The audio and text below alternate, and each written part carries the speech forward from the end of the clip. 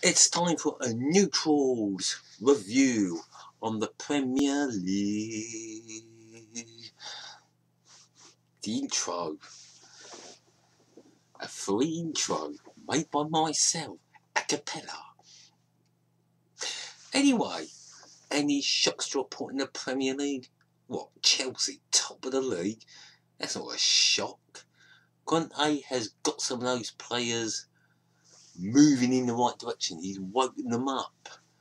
You know, they win the Premier League and they think, nah, we'll have a season off. We can't be bothered. Mourinho's like, I can't do nothing. And it was Mourinho who got the sack, lost, lost that dressing room where Conte, I think, has gone in there enthusiastic. Few teacups lobbed around, or maybe cappuccinos. I don't know. Well, he's Italian, so it probably was cappuccinos but it's worked. Chelsea are top of the league. They're not second. We'll start with Man City. Pepe. Well, he's got some bone idle players at that club. Worth millions on millions. They're not pulling their weight for 90 minutes or game after game, are they? Simple as that. All Pepe has to do is wake some of those players up. And Man City could be a force. Liverpool, well, Klopp made a mistake sending Joe Allen, and he needs to sort the defence out at the back. Because really, a nil-nil at home against Man United is not acceptable. Nil-nil against Southampton, it's a good result, a good size Southampton. But it's games like that, you have to win 1-0 if you're going to win the Premier League. and like Newcastle did 20 years ago, they outscored teams, but when it all come down to it, they conceded too many. Were United tightened up at the back and won the Premiership and won the double, and then they retained it. Chelsea won the um, FA Cup that season, 97. Arsenal, problem after problem. The video is going dark. Oh, yes. Grundy on the bench, not good enough to be on the pitch. I've even said it, how many times have France looked a better play when he's come off? We've also got the other French guy, the captain, Koscielny, can't even say his name right. When he's good, he's good. When he's poor, he's utterly useless. And Carl Jenkinson, he was at loan at West Ham last year. I thought they were going to sell him to West Ham. They brought him back, put him in the team. He's absolutely out, out of his depth. He doesn't belong in that Arsenal team. And as far as Theo Walcott goes, yeah, he's had an amazing start this season, but we're November. Come on, he's starting to fade away. He's falling into the background like he does every season. And uh, who could they sign up? Well, they need a striker. Troy Deeney's out there, bring him in.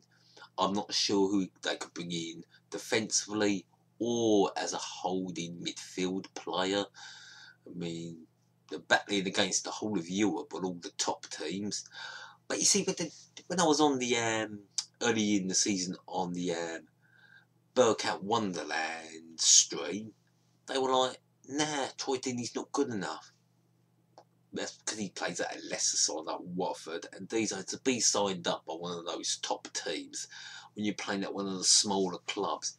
It's getting rarer and rarer. It is. So, could be a player Arsenal, to me, would be fantastic for Arsenal. Scores goals, penalties, you know, he's, he's here, there, and everywhere. He assists in. He makes a lot and he does he, he does score goals in the box, outside the box. He does he just does not score penalties. Man United just have to hold on to Mourinho and be patient and not get rid of him. It's going to take Mourinho three to four years to make them Premier League champions. It won't be till next year they're back in the top four. See, progress. I think Mourinho can do it. There's a lot of dead wood at Man United that needs to be removed. Needs the man to do it. Tottenham, bit suspect in the centre of defence, and they need someone in midfield. I mean, sending Chadli to West Brom was a mistake. Otherwise, I think Tottenham look fantastic, but you can tell they look short. If they get that sorted with the team they got, that Premier League title could be coming to the line if it doesn't go to Anfield or over to the bridge. I think Man City can win it too. Arsenal, well, if they can sort their team maybe they will. As I said, Man United, no chance. Other sides looking good, near the top half. Everton, doing superb under Ronald Koeman. Southampton, another top season. Um, Watford, well, doing the top half. They're not mid-table. Come on, that's an amazing season for Watford. Same as Leicester. Come on, they blew everybody away by winning the Premier League title. They was never going to do it for a second season. I mean, come on, finishing in the top four, not a chance. Leicester between 12th and 8th, get to the quarterfinals of the Champions League. Absolutely superb season for Leicester. Leicester are not having a terrible season. They overachieved last year. And this season, it's just going to be an average season for Leicester. But I think Leicester can still say they can hold their heads up high. And the Tinkerman can say, still a good season. Um, Stoke City signed Joe Allen. Shaqiri actually looking like a the decent player again, the Swiss international. And you never know. Stoke sneaking to the Europa League. Maybe they're, they're getting their season together eventually. Started pretty poor, but now they're up and running. Of course, they lost to Bournemouth on the weekend, but Bournemouth, they're not there to make up.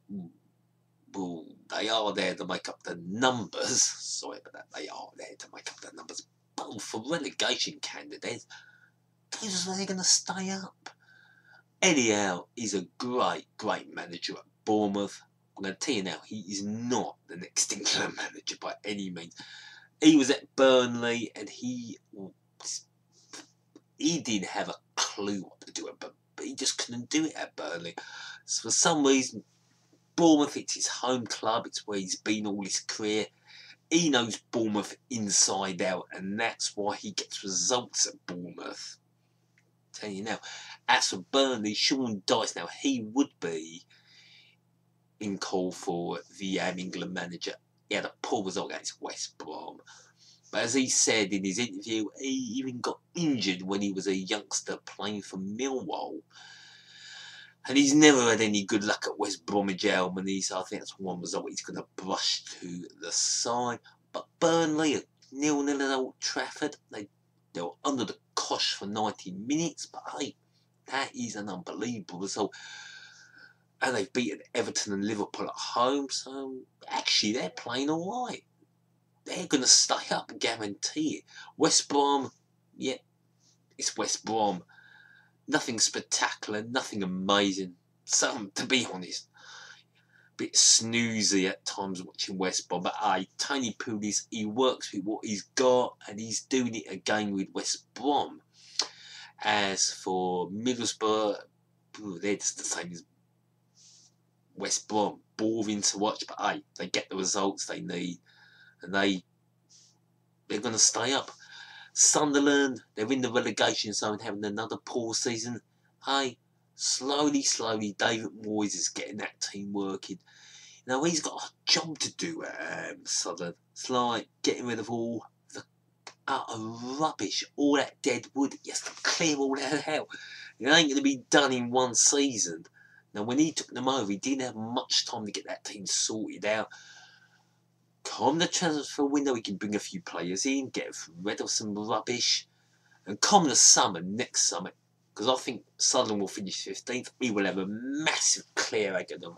All the rubbish that Sunderland have accumulated over the seasons with managers coming in, pinging all these rejects in. I think, is Wes Brown still at Sunderland? Wes Brown. Uh, John O'Shea, I think now retired from international football. And like I said, when we beat Austria 1 0, what a goal from James McClean. For the first time, we looked solid at the back. Nobody's getting past that Republic of Ireland defence. One word, no John O'Shea. Uh, for the teams near the bottom now, and I don't think I've missed anybody, have I? I'll quickly go through my mind.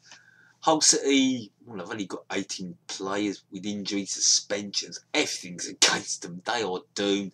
Swansea, well, they can't hit the back of the net. They concede goals in midfield. They look weak. The engine's falling apart at the seams. Bradley came in from America and he looks hopeless as Swansea City manager. He's not made for the Premier League. And Alan Pardew, who won an award on the True Geordie the third time. I'm not telling you what he won. I'm just not telling you. Check out the True Geordie's channel. You can check it out on there. But Alan Pardew seems to be taking Crystal Palace back to the Championship. They want to keep them in the Premier League.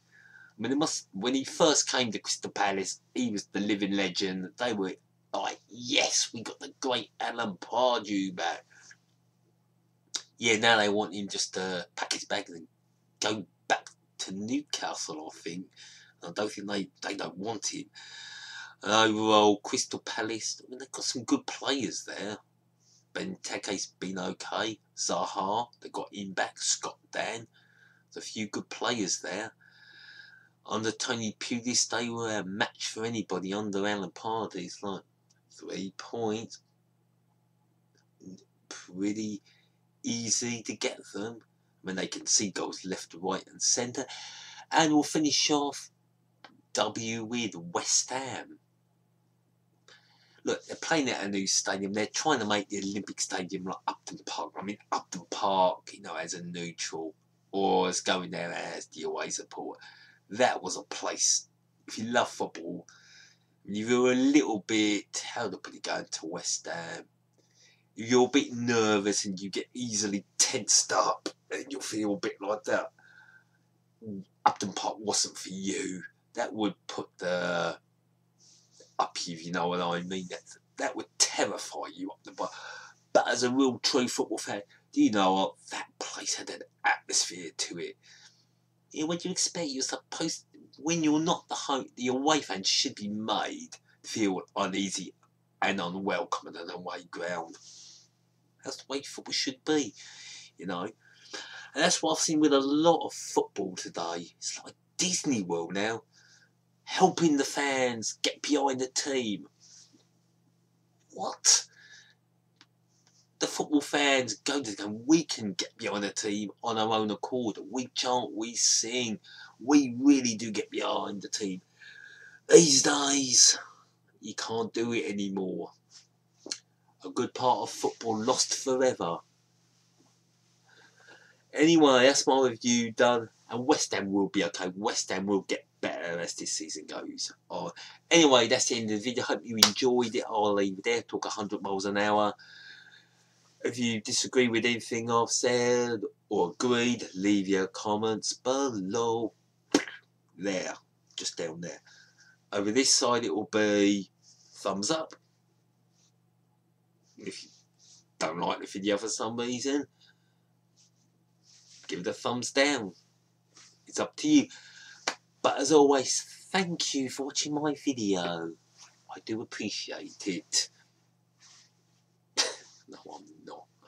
Now, wasn't uh, anything to do with that club there in the south, near Portsmouth. No. Anyway, just the end of the video. And goodbye.